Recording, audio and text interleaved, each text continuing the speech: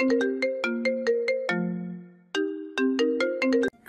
খাদিজা এডিটিংয়ের সকল প্রকার পার্ট গল্প দেখতে আমাদের চ্যানেলটি সাবস্ক্রাইব করে পাশে থাকা বেল আইকনটিতে ক্লিক করে অল নোটিফিকেশন অন করে দিন।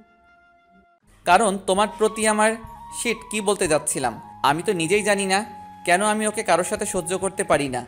কেউ ওর দিকে কুদৃষ্টিতে তাকালে আমি মেনে নিতে পারি না। ওর প্রতি কেন জানি একটা টান অনুভব করি। জানি না আমার এই ফিলিংসের নাম কি। কি হলো? আমার প্রতি আপনার কি? ওনার মনেও কি আমার জন্য কিছু ফিল হয়? তোমার প্রতি আমার প্রচুর রাগ। একবার নয় দুবার নয় বহুবার আমায় ইনসাল্ট করছ। আমার চোখে চোখ রেখে কথা বলছো। আমার কথার অবাধ্য হয়েছ। শাস্তি তো পেতেই হবে ডিয়ার কি ভেবেছিলাম? শিয়া তুইও পাগল। এর সামনে আসলেই দুর্বল হয়ে পড়ি কেন? না আমায় শক্ত হতে হবে। দেখুন আমি আপনার সাথে ইচ্ছে করে কিছু করিনি। প্লিজ আমার পিছু ছেড়ে দিন। আপনার কালকে জিএফটা কই? নাকি ওটাও এক রাতেই ছিল? আয়নের রাগ এবার চরম পর্যায়ে। কিছু বলতে যাবে তখনই অফিয়ার এনা খাবার নিয়ে হাজির। ওরা টেবিলের ওপর খাবারগুলো রাখল। এদিকে আয়ান দাঁতে দাঁত চেপে রাগ কন্ট্রোল করার চেষ্টা করছে। উফি তুই দেখ তো দুলাভাইয়ের কোনো প্রবলেম হচ্ছে কিনা? দুলা ভাইয়ের দায়িত্বে হৃদয় তুষার আছে। আন্টিরাও আছে। আমি গিয়ে কি করব? আর শুনে আয় এঙ্গেজমেন্ট কখন? ওকে যাচ্ছি। অভি চলে যেতে এনা একবার শিয়ার দিকে তাকিয়ে আবার আয়নের দিকে তাকালো। স্যার আজকে সব খাবার সিয়া বানিয়েছে। দেখুন তো পারফেক্ট হয়েছে নাকি? আসলে আমরা তো কখনো এসব বানাইনি। এটাই ফার্স্ট টাইম টেস্ট করুন স্যার। আয়নের চোখ লাল হয়ে আছে কপালের রগগুলিও ফুলে আছে। এটা দেখে এনা বেশ বুঝতে পারল আয়ান শিয়ার উপরে রেগে আছে। স্যার সিয়ার সাথে না বুঝে আপনাকে ওসব বলে ফেলছে। ও তো আপনাকে চিনতো না। ওর উপর আর রাগ করে থাকবেন না প্লিজ। আয়ান কিছু বলল না। শিয়ার দিকে একবার তাকিয়ে খাবার খেতে শুরু করল। না খুব একটা খারাপ হয়নি। ভালোই হয়েছে। কেমন হয়েছে স্যার? আয়ান কিছু বলল না। অল্প খেয়ে টিস্যু দিয়ে হাত মুছে নিল। এর মধ্যেই অভি এসে গেল। স্যার এঙ্গেজমেন্ট এখনই হবে। চলুন। আর সিয়া, তুইও চল। আন্টি ডেকে পাঠিয়েছে। ইলমা আব্বুকে নিয়ে আসার জন্য। তুই ছোট বোন, তোকেই আনতে হবে। শিয়া মাথা নাড়িয়ে চলে গেল। পেছন পেছন এনাও গেল। আয়ান গিয়ে রবিনের পাশে দাঁড়াল। ভালোই ভালোই এঙ্গেজমেন্টের প্রোগ্রাম শেষ হতেই সবাই বিদায় নিয়ে বেরিয়ে যাচ্ছে। শিয়া রবিনের সাথে নানান বিষয়ে মজা মস্তি করতে করতে এগিয়ে যেতে যাচ্ছে। হঠাৎ ওর হাত ধরে হ্যাচকা টান দিয়ে কেউ পর্দার আড়ালে নিয়ে গেল। শিয়া চোখ খুলতেই দেখল আয়ান দাঁড়িয়ে। শিয়া কিছু বলতে নিবে তার আগেই আয়ান বলতে শুরু করল। অবি ছেলেটাকে সুবিধার মনে হয়নি। আমার ওর থেকে দূরে থাকবে। আগেও বলেছি, এখন আবারও মনে করিয়ে দিলাম। আর ওই নতুন ছেলেটাকে কি? যেন নাম? হ্যাঁ হ্যাঁ জয়। ওর থেকেও দূরে থাকবে। তোমার দিকে কুদৃষ্টিতে তাকাতে দেখেছি। এখন থেকে থ্রি পিস পড়বে সব সময় বুঝেছ? এই নাও। আর শোনো, ভাই হোক বা ফ্রেন্ড কেউ যেন তোমার শরীরের কোথাও টাচ না করে। এমনকি হাতেও নয়। বাড়ি থেকে কলেজ কলেজ থেকে বাড়ি আর কোথাও যাবে না। পার্টি ক্লাবে তো একদমই না। কথাগুলো ব্রেনে ঢুকিয়ে নাও। আমার কথার অবাধ্য হলে আমার চেয়ে খারাপ কেউ হবে না। আমি কিন্তু সব খবর জেনে যাব। সো আমার কথাগুলো মানতেই হবে। দেখুন আমি। হুস তোমাকে কিছু বলতে বলিনি। আমি তোমাকে জিজ্ঞেস করিনি যে উত্তর দিবে। আমি তোমাকে বাধ্য করছি। তারপর শিয়া কপালে একটা চুমু এঁকে ওকে কিছু বলার সুযোগ না দিয়ে আয়ান চলে গেল। আর শিয়া হতভম্ব হয়ে দাঁড়িয়ে রইল। হাতের প্যাকেটগুলো দেখে ছুঁড়ে ফেলতে গিয়ে কিছু একটা ভেবে না ফেলে নিচের রুমে নিয়ে গিয়ে বিছানার উপর থপ করে বসে পড়ল। কি ভাবে নাকি নিজেকে? আমাকে ফোর্স করার সাহস কই পায়? এগুলো কি? প্যাকেট থেকে সবগুলো ড্রেস বের করে। এতগুলো লং থ্রি পিস আমি কোনো দিনও পরিনি। আর ওই লোকের জন্য এগুলো পরবো ইম্পসিবল তুই নিজের জিএফদের এগুলো পড়াতে পারিস না বদমাস আমি তোর না জিএফ আর না তোর বউ। তোর কথা জীবনেও শুনব না। আমিও দেখব তুই কি করতে পারিস। হৃদয় এসে দরজা ধাক্কাচ্ছে। শিয়া তাড়াতাড়ি করে ড্রেসগুলো প্যাকেটে ভরে আলমারির ভেতরে ঢুকিয়ে দরজা খুলে দিল। হ্যাঁ বল। কিরে এ সময় দরজা বন্ধ করে কি করছিস? নাথিং ফ্রেশ হতে এসেছিলাম। কি বলবি বল? রবিন ভাইয়ারা সবাই চলে গেছে। এবার আমরা বাড়ির সবাই খেয়ে নেই চল। আমার ভালো লাগছে না। তোরা খেয়ে নে। আন্টি ডেকেছে সবাই খেতে বসেছে তুইও চল। আম্মুকে গিয়ে বল শ্রেয়া ঘুমাচ্ছে। প্লিজ ডিস্টার্ব করিস না। আর টায়ার্ড লাগছে ঘুমাবো গুড নাইট বলেই তাড়াম করে দরজা বন্ধ করে দিল। সারা রাত ধরে আয়নের চোদ্দ গোষ্ঠী উদ্ধার করতে করতে এক সময় ঘুমিয়ে পড়ল শিয়া। এদিকে আয়ান নিজের বাড়িতে এসে নিচের রুমে ঢুকে টি টেবিলে জোরে একটা লাথি দিল। এই মেয়েটার সামনে গেলে কেন দুর্বল হয়ে পড়ি? যতবার শাস্তি দিতে চাই ততবারই কেয়ার করে ফেলি। যত রাগ নিয়েই ওর কাছে যাই না কেন ওকে দেখলে সব রাগ চলে যায়। বাট হোয়াই কারণ তুই ওকে ভালোবাসিস। তুই? তুই এখানে কি করছিস? ঘুমোসনি? হুম ঘুমিয়েছিলাম। তোর টেবিল ভাঙার শব্দে জেগে উঠেছি। কি হয়েছে আয়ান? জুলি আমি জানি না কেন ওই মেয়েটাকে কিছু বলতে পারি না। তুই জানিস আজ অবধি কেউ আমার সাথে উচ্চস্বরে কথা বলা তো দূর আমার সামনেও কেউ আসতে পারে না আমার পারমিশন ছাড়া। সেখানে সিয়া আমাকে বারবার ইনসাল্ট করেছে। চোখে চোখ রেখে আমার ক্যারেক্টার নিয়ে কথা বলেছে। তবুও আমি ওকে কিছু বলিনি বলতে পারিনি। ওকে কোনো ছেলের সাথে দেখলে আমার রাগ হয়। ওকে কেউ টাচ করলে আমি সহ্য করতে পারি না। কেন? কেন এমন হয়? ভালোবাসা? উফ shut up year. It's not possible it's possible তোর মাইন্ড এক কথা বলছে আর তোর মুখ আরেক কথা বলছে। আমি কিছু বলব না। শুধু এইটুকুই বলব তুই ওকে ভালোবেসে ফেলেছিস। আমার কথাটা একটু ভেবে দেখিস। আমি এখন আসি গুড নাইট জলি চলে যেতেই আয়ান ড্রিঙ্ক নিয়ে বসে জুলির বলা কথাগুলো ভাবতে লাগল। একসময় মেঝেতেই ঘুমিয়ে পড়ল। এ কি আমি অন্ধকার ঘরে কি করে আসলাম? আমি তো নিজের রুমে ছিলাম তাহলে। হঠাৎ দরজা খোলার আওয়াজ শুনে সামনে তাকাতেই শিয়া দেখতে পেল আয়ান আসছে।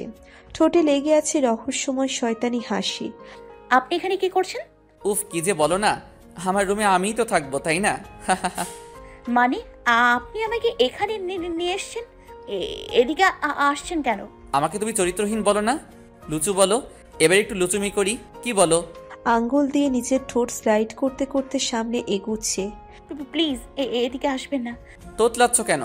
তোমার তেজ কোথায় গেল? শিয়ার হাত ধরে বিছানায় ফেলে দিয়ে ওর দিকে এগিয়ে যাচ্ছে। না! ও গড এতক্ষণ স্বপ্ন দেখছিলাম কত বাজে! ছয়টা বাজে। সবাই বলে ভোরের স্বপ্ন রেখে সত্যি হয়? নো নো নো এগুলো শুধু কথার কথা কুসংস্কার। এখন ঘুমিয়ে আর কি করব? ফ্রেশ হয়ে নিচে যাই। শিয়া ফ্রেশ হয়ে নিচে গিয়ে দেখে ওর আম্মু রান্নাঘরে রান্না করছে। আম্মু তুমি এত সকালে কিচেনে কেন? ইমনের জন্য স্যুপ বানাচ্ছি। ছেলেটা জ্বর তো কমেছে কিন্তু শরীর দুর্বল। কাল প্রোগ্রামেও আসতে পারেনি জ্বর ছিল। কিছু খেতেও পারছে না তাই ভাবলাম একটু স্যুপ করে খাইয়ে ওষুধ খাওয়াবো। ও গড কাল এত ঝামেলার মধ্যে ইমনের কথা মাথাতেই ছিল না। ওকে তাই করো। অভিরা কই গো? ওরা তো রাতেই চলে গেছে। কত করে বললাম এত রাতে যাওয়ার দরকার নেই শুনলই না। ও গড আমি তো হৃদয়ের সাথে মিসবিহেভার করেছিলাম। এই জন্যই রাগ করছে মনে হয়। এরাও না আমি জানি কি করতে হবে। কি রে কি ভাবছিস? না কিছু না। আমার জন্য এক কাপ কফি দিও। আর শোনো কলেজ যাব। ওকে রুমে যা। পাঠিয়ে দিচ্ছি। নটার দিকে শিয়া টপ স্কার্ট পরে কলেজে গেল। পুরো ক্যাম্পাস খুঁজেও অভিদের পেল না। ক্লাসরুমে গিয়ে দেখল সবাই বসে আছে। শিয়া অনেক সরি বলার পরেও ওর সাথে কেউ কথা বলছে না। গাইস, প্লিজ, আর রাগ করে থাকিস না। কাল একটু টায়ার্ড ছিলাম রে। মাথা ব্যথা করছিল। তাই অমন করে ফেলছি। I am really sorry. Okay okay, কান ধরবো নাকি? আচ্ছা ধরছি। শিয়া কান ধরতে গেলেই সৌরভ আটকালো। এবারের মতো মাফ করলাম বাট এটাই কিন্তু লাস্ট আমি আর কখনো তোদের সাথে ওভাবে কথা বলব না প্রমিস শিয়া বাকিদের দিকে অসহায় চোখে তাকালো। কি রে তোরা এখনও কথা বলবি না? তোরা যা করতে বলবি সব করব প্রমিস প্লিজ কথা বল। এবার সবাই ফিক করে হেসে দিল। আমরা যা বলব তাই করবি সত্যি? হুম। রান্না করে খাওয়া। তোরা জানিস তো আমি রান্না জানি না। ওকে তাহলে আরে থাম শিয়া আজ ক্লাবে পার্টি থ্রো করতে হবে রাজি তো? ইয়েস ডান তোদের পুরো বিল আমি দিব। সবাই খুশিতে দাঁড়িয়ে শিয়াকে নিয়ে গ্রুপ হাক করল। সৌরভ প্রথমে অমত করলেও পরে রাজি হয়ে যায়। সন্ধ্যার দিকে শিয়া রেডি হয়ে ক্লাবে গেল। আয়ানের কথার বিরুদ্ধে গিয়ে শিয়া শর্ট পার্টি ড্রেস পরেছে। আপনি যা পছন্দ করেন সেগুলোই করব আমি। তাতে যদি আমার পেছন ছাড়েন। আপনার অপছন্দের কাজ করলে একসময় বিরক্ত হয়ে নিজে থেকেই আমার পিছু ছেড়ে দেবেন। ও শিয়া, কত বুদ্ধি তোর মাথায়। বেচারি শিয়া বুঝতেই পারল না এর পরিণতি কি হতে চলেছে। ক্লাবে শিয়া, অভি, সৌরভের সাথে ডান্স করছে। জয়ও আছে। শিয়ার মা শিয়াকে একা ছাড়েনি। এক প্রকার জোর করেই জয়কে শিয়ার সাথে পাঠিয়েছিল। অভি ডান্স ফ্লোর থেকে নেমে বারে গিয়ে ড্রিঙ্ক করছে। জয় নাচের মধ্যে শিয়াকে নানানভাবে টাচ করছে। একটু পর অভিও আবার ডান্স করা শুরু করল। রিয়ারাও নিজেদের পার্টনারদের সঙ্গে ডান্স করছে। এদিকে একজোড়া চোখ অগ্নি দৃষ্টিতে শিয়ার দিকে তাকিয়ে আছে। হ্যাঁ সেই চোখজোড়ার মালিক আয়ান চৌধুরী। একটা ক্লায়েন্টের সাথে মিটিংয়ের জন্য ক্লাবে এসেছিল। এসেই দেখতে পায় শিয়াকে। শর্ট ড্রেস পরে ছেলেদের সঙ্গে ডান্স করছে। আয়ান ক্লায়েন্টকে বিদায় করে সামনে এগিয়ে গেল। ভিড়ের মধ্যে থেকে শিয়ার হাত ধরে টেনে আড়ালে চলে গেল। আপনি এখানে? খুব শখ তোর ছেলেদের স্পর্শ পাওয়ার। চল আজকে তোর সব ইচ্ছে সব পুরো করে দিব। বেশি না এক রাত আমাকেও দে। দে- দেখুন আপনি কিন্তু বাড়াবাড়ি করছেন। আয়ান শিয়াকে কাঁধে তুলে নিয়ে গাড়িতে বসালো। শিয়া ছোটাছুটি করেও লাভ হলো না। আয়ান ড্রাইভারকে গাড়ি স্টার্ট দিতে বলল আর নিজে শিয়াকে চেপে ধরে রাখল। এক ঘণ্টা পর গাড়ি গিয়ে থামলো আয়ানের বাগান বাড়িতে। আয়ান শিয়ার হাত ধরে টানতে টানতে বাড়ির ভিতরে গিয়ে একটা রুমে নিয়ে গিয়ে ধাক্কা দিয়ে ফেলে দিল। আপনি আমাকে এখানে নিয়ে আসলেন কেন? এটা অন্যায়। আমি কেস করব আপনার নামে। কাপড় খোল। হতভম্ব হয়ে আয়নের দিকে তাকিয়ে দেখল আয়নের চোখ রক্তবর্ণ হয়ে আছে কপাল ও ঘাড়ের রগগুলো ফুলে আছে। শিয়া ভয়ে শুকনো একটা ঢোক গিলে নিজেকে কোনো মতে সামলে নিয়ে কাপা কাপা গলায় বলল কি কি কি? কি বললাম শুনতে পাসনি? গায়ের ড্রেসটা খুলে ফেল। দে- দেখুন আপনি ড্রাঙ্ক তাই সব বলছেন। আমি ওই টাইপের মেয়ে নই। তুই কি টাইপের মেয়ে তার কৈফিয়ত চাইনি? এমনিতেই তো অর্ধেক শরীর দেখিয়ে বেড়াচ্ছিস। এবার পুরোটা দেখা। আমার হাতে টাইম নেই ফার্স্ট প্লিজ আমাকে যেতে দিন। এ- এমন করবেন না প্লিজ আগে ভাবা উচিত ছিল বহুবার বলেছি ছেলেদের থেকে দূরে থাকতে পার্টি ক্লাবে না যেতে শর্ট ড্রেস না পরতে। বাট তুই কোনো কথা শুনেছিস? আমার শুনিসনি। তোর তো খুব শখ। সবাইকে নিজের শরীর দেখিয়ে বেড়ানোর ছেলেদের স্পর্শ পাওয়ার। আজ তোর সব শখ পূরণ করব। বলেই হাতে থাকা ড্রিঙ্কের বোতল ছুঁড়ে ফেলে দিল। আয়ানের আচরণে শিয়া ভয় কুকিয়ে উঠল। আয়ান আজকে প্রচুর ড্রিঙ্কস করেছে। ওপর থেকে বেল্ট খুলে শিয়াকে মারতে শুরু করল। আজ তোর এমন অবস্থা করব আর কখনো কোনো ছেলের সামনে যাওয়ার সাহস পাবি না। শর্ট ড্রেস পরার কথা মুখেও আনবি না। বলছি আর বেল্ট দিয়ে আঘাত করে যাচ্ছে। যন্ত্রণায় শিয়া ছটফট করছে। আয়নের সেদিকে হুঁশ নেই। আয়ন আজ নিজের মধ্যে নেই। পুরো উন্মাদ হয়ে গেছে। শিয়ার হাতে পায়ে পিঠে কোমরে বেল্টের মারে চামড়া ফেটে রক্ত বেরোচ্ছে। প্রায় দশ মিনিট পর আয়ন মারা থামিয়ে আর এক বোতল ড্রিঙ্কস নিয়ে খেতে শুরু করল। এদিকে শিয়া দেওয়ালের সাথে হেলান দিয়ে বসে কেঁদেই যাচ্ছে। যন্ত্রণায় ফোপাতে ফোপাতে বলা শুরু করল। আপনি সত্যি একটা পশু। আপনার মধ্যে মন বলতে কিছুই নেই। আই জাস্ট হিট ইউ কি বললি? আমি পশু? ওকে চল। আজ তোকে এই পশুর পশু তো দেখাবো। বলেই হাতে থাকা গ্লাসের অবশিষ্ট ড্রিঙ্কসটুকু শেষ করে শিয়ার কাছে এগিয়ে গেল। শিয়ার হাত ধরে টেনে তুলে ধাক্কা দিয়ে বিছানায় ফেলে দিল। শিয়ার উপরে আতশোয়া হয়ে নিজের শার্টটা খুলে ফ্লোরে ছুঁড়ে ফেলল। তারপর ঝাঁপিয়ে পড়ল শিয়ার ওপরে। শিয়া বাধা দিতে গিয়েও পারল না। সে একজন মেয়ে। একজন মেয়ে হয়ে একজন ছেলের শক্তির সাথে পেরে ওঠা অসম্ভব। তার উপর বেল্টের মারের আঘাতের যন্ত্রণা। প্রায় দু ঘণ্টা পরে আয়ান নিস্তেজ হয়ে শিয়াকে ছেড়ে শিয়ার পাশে উপুর হয়ে শুয়ে পড়ল।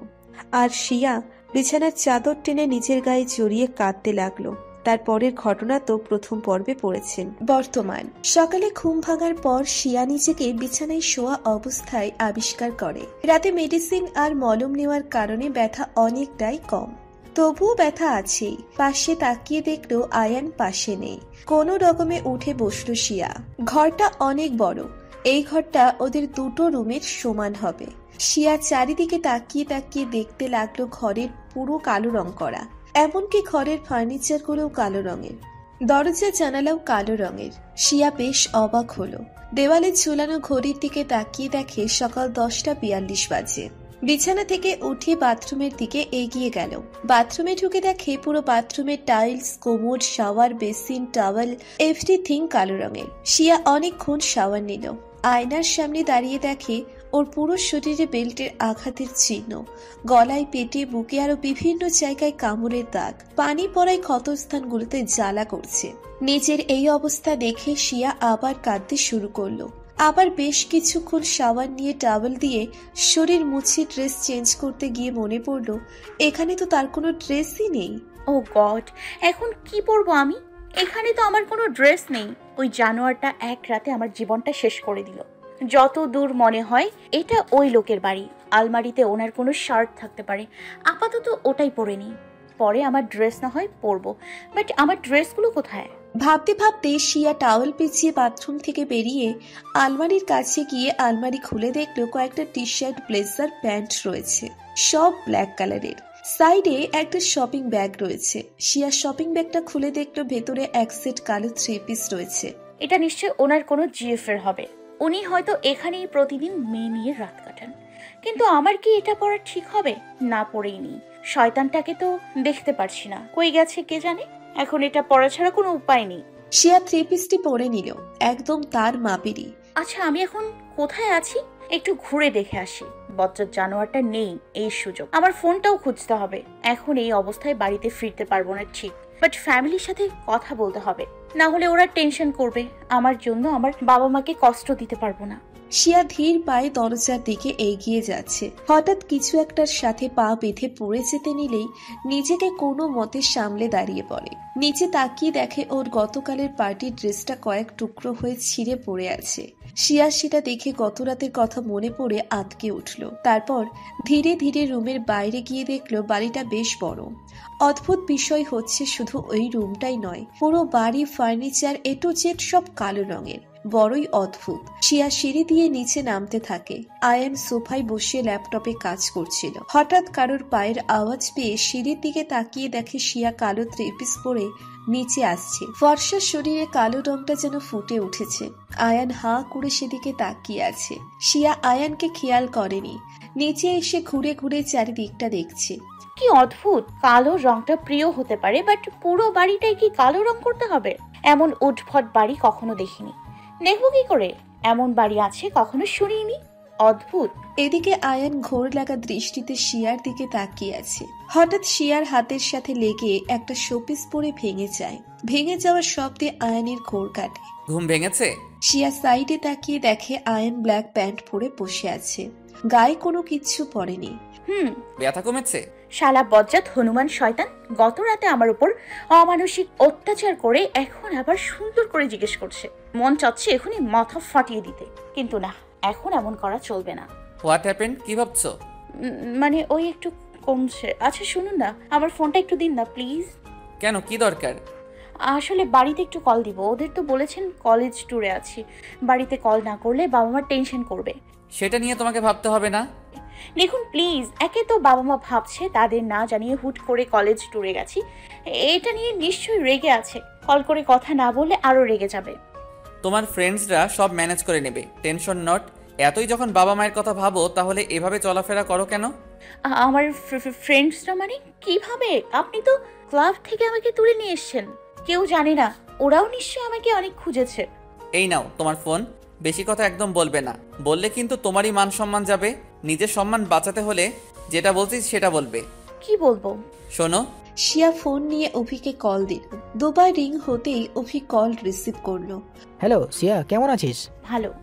তুই কালকে আমাদের না জানিয়ে হুট করে বাড়ি চলে গেলি কেন বলতো? পরে মেসেজ করে বললি তোকে যেন না খুঁজি বাড়ি চলে যাচ্ছি। মেসেজ আমি? অবাক হয়ে আয়নের দিকে তাকালো।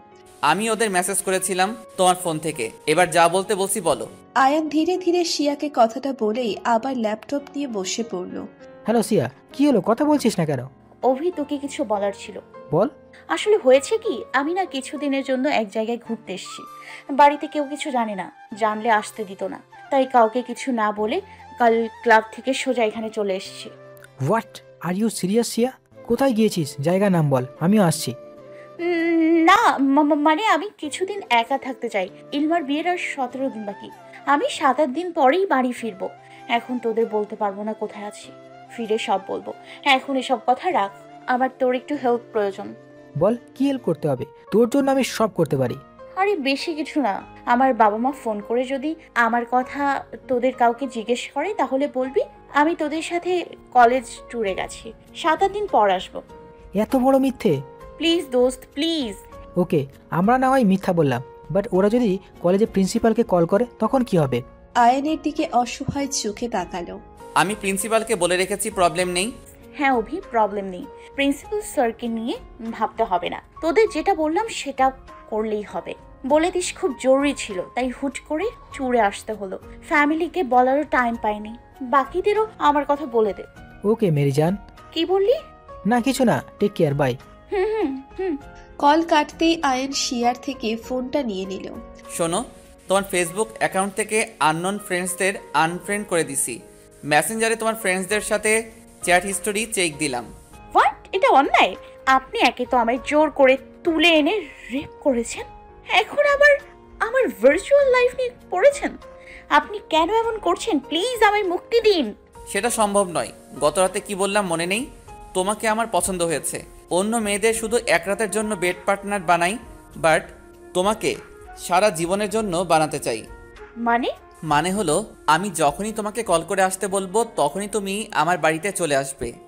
না হলে সবাইকে বলে দেব, তোমার আমার গত রাতের কথা। সেদিন জুলির বলা কথাগুলো নিয়ে অনেক ভেবেছি। সত্যি হয়তো আমি তোমাকে ভালোবেসে ফেলেছি, বাট জানি না এটা ভালোবাসা কি না শুধু এটুকুই জানি, আমার তোমাকে চাই, খুব করে চাই, সারা জীবনের জন্য চাই। এখন কিছু বলব না। যেদিন চলে যাব সেদিন যা বলার বলে যাব। আমার ফেসবুক থেকে সবাইকে রিমুভ করা আমাকে তুলে এনে আমার এত বড় সর্বনাশ করা সব শোধ তুলবো। এখন আপাতত চুপ থাকি। এখন কিছু বলা মানেই বিপদ। আচ্ছা সিয়া তুমি কি ছোট বাচ্চা? তুমি কি কিছু বোঝো না? মানে?